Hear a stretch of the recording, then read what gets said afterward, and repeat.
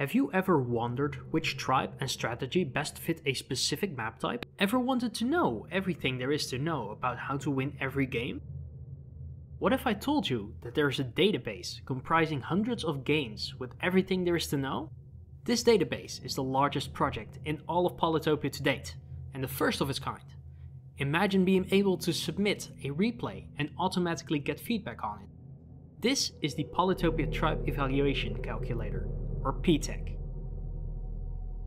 It all began last year when a player and YouTuber named Tolbby was looking to make more guides on how to play particular tribes. With his background, he was able to put together a program that allowed for calculations of various statistics regarding every aspect of the game. This small project started with the creation of tribe cards that indicated the expansion, economy, giant potential, aggression, and overall strength. This would give an overall idea of what each tribe can and cannot do well.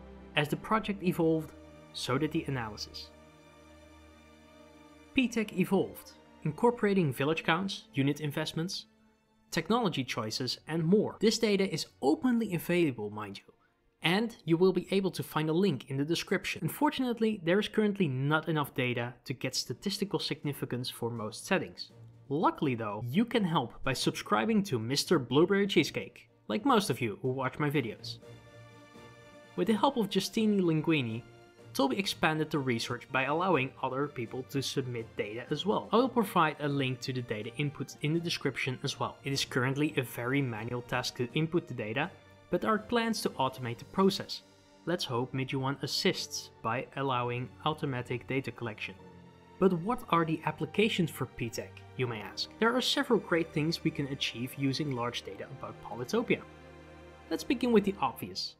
It can teach us about the current relationship between tribes, players and maps.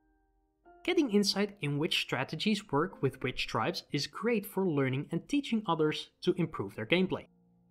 This also gives insight into how most guides from back in the day are not accurate at all, such as Bardur at the time of writing scores worse than Oumaji most map types. If you watch my previous video, you may understand another application, balancing. It is common knowledge that the tribes in Polytopia are not balanced. PTEC will provide extra insight into the reasons behind the performance of particular tribes, making it easier to balance the game. Now let's take a look at the current state of PTEC. We can immediately see a screen with various filters and much information. Imagine we want to take a look at the best strategy for small lakes. And would you look at that? We can now see the highest and lowest win rates for these settings. We can now see that Vengir has the highest win rate, probably due to their low play count. It should also not surprise you that Cymanti is the most commonly played tribe for these settings. Let's dive deeper into their data and we can see that they start with farming.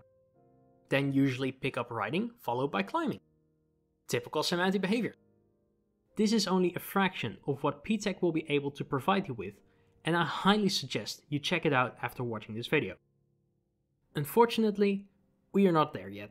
There is a need for more data and the input speed could definitely use some help. People make mistakes, making some data less usable. That is why I have opted to work on a program to tidy up the data and possibly publish with nicer visuals.